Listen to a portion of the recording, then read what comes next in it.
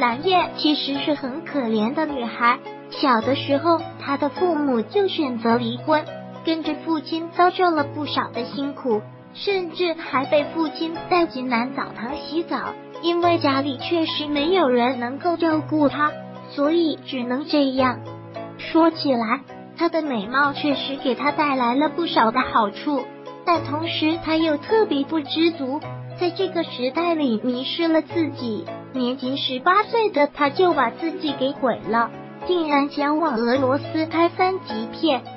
虽然这部片子确实是部好作品，但可惜过于敏感了。主要是她在剧中演的是偷渡来的不正当职业少女。因为演技相当的厉害，所以震撼住了不少的观众。也是在那一年，他被签约到了英皇，可惜与林黛玉这个角色擦肩而过了。在这之后的几年，他的演艺生涯简直达到了巅峰。他出演过的电视剧都是有着很高收视率，演技好是他最受到观众认可的地方。就算近几年，他也没有停止过演戏的步伐，尤其是这几次出演的角色挺清纯动人的，